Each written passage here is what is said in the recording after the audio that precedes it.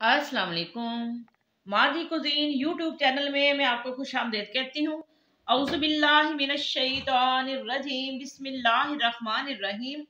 अल्लाहुम्मा सल्ली व मौलाना मुहम्मदिन व अला आलिहि व सहाबिहि सल्लम। आज मादी कुजीन में मैं आपको लौकी के कबाब बनाना बताऊँगी। ये माशाल्लाह से बड़े टेस्टी और बड़े हेल्दी कबाब बनते हैं। इसके लिए मुझे क्या क्या चीज़ दरकार है? मैंने तकरीबन हाफ़ के जी तकरीबन ये मैंने लौकी ले लिया घिया शरीफ भी से बोलते हैं।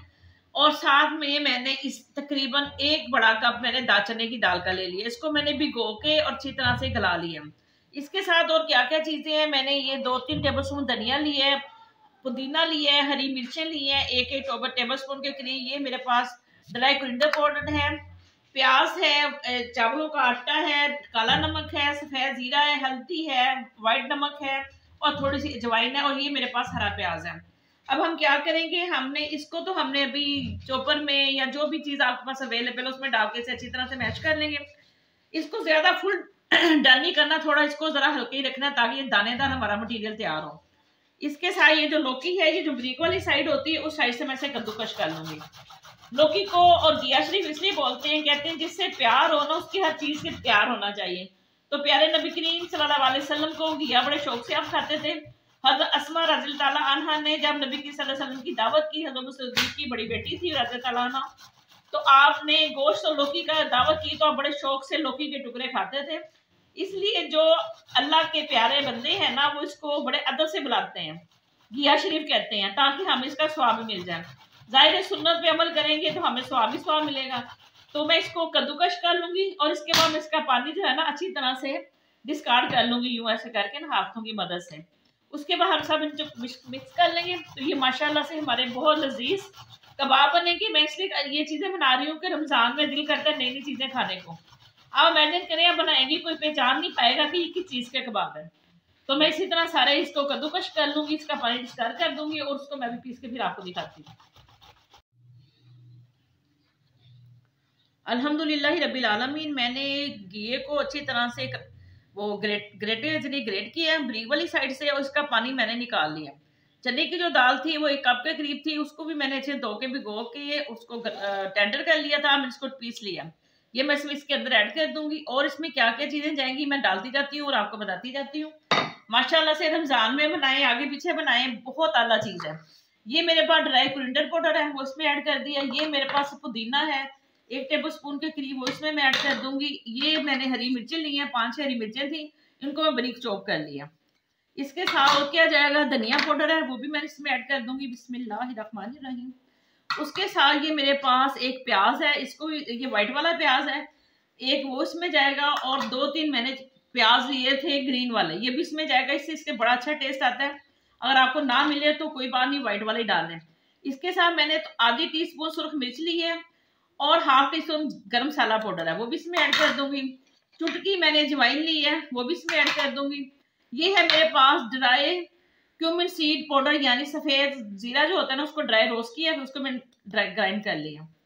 इसके साथ एट टीस्पून नमक है हाफ़ टी स्पून इसमें ये जाएगा, हल्दी पाउडर है। उसके साथ इसमें ये है काला नमक। काला नमक से इसमें बड़ा अच्छा टेस्ट आता है। अब हम इन सब चीज़ों को अच्छी तरह से मैश कर लेंगे। बिस्मिल्लाहिर्रहमानिर्रहीम। माशाल्लाह से ये कोई भी, मैं कहती हूँ, आप बिलीव में बनाएँ और कोई नहीं ये जान सकेगा कि आपने किस चीज़ के कबाब बनाए हैं। इतने ही टेस्टी इतने आला कबाब बनेंगे इन ताला, अल्लाह के हुक्म से।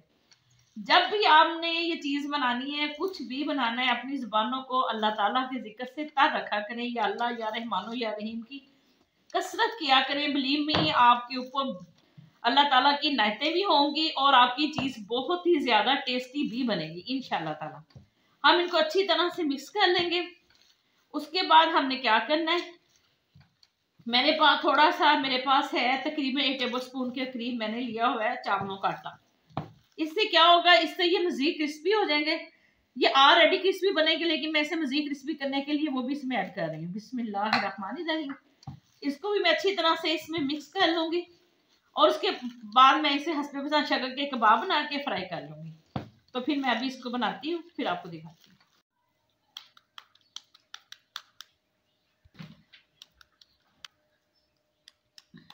बिस्मिल्लाहिर्रहमानिर्रहीम।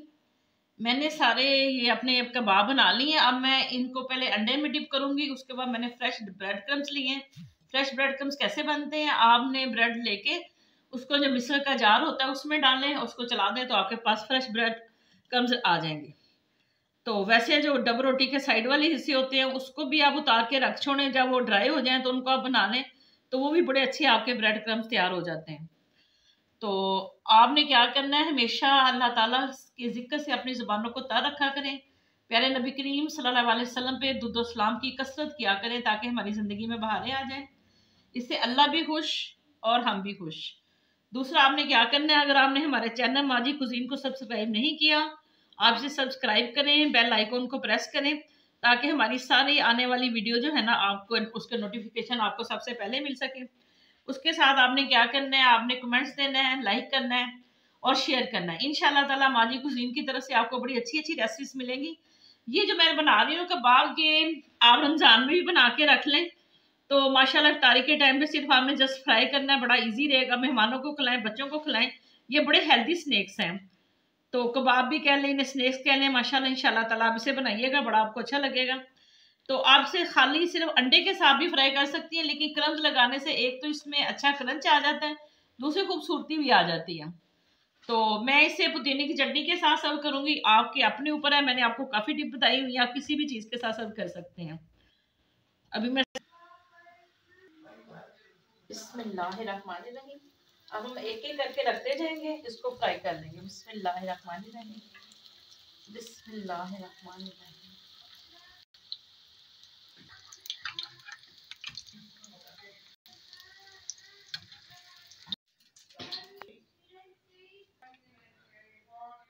अल्हम्दुलिल्लाह आलमीन हमारे गिया शरीफ के कबाब तैयार हो चुके हैं। मैं इसे ग्रीन हैरते के साथ सर्व कर रही हूँ। आपके ऊपर है आपसे जैसे मर्ज़ी खाएँ। अल्हम्दुलिल्लाह, खुद खाएँ, मेहमानों को खिलाएँ, बच्चों को खिलाएँ तारी में खिलाएँ।